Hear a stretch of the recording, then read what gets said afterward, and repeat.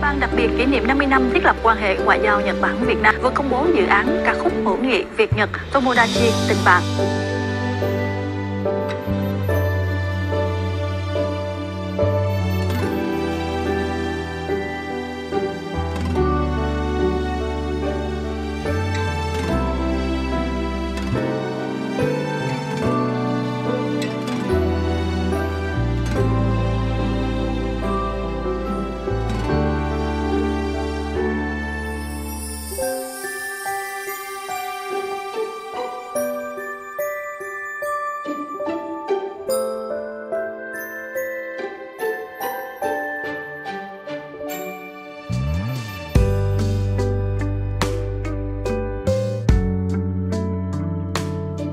Tiêu vì hòa bình hợp tác phát triển, vì lợi ích của hai nước chúng ta, vì lợi ích của các đối tác của nhau.